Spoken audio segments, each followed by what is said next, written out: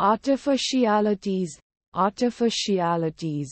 The quality of being produced by people and not occurring naturally.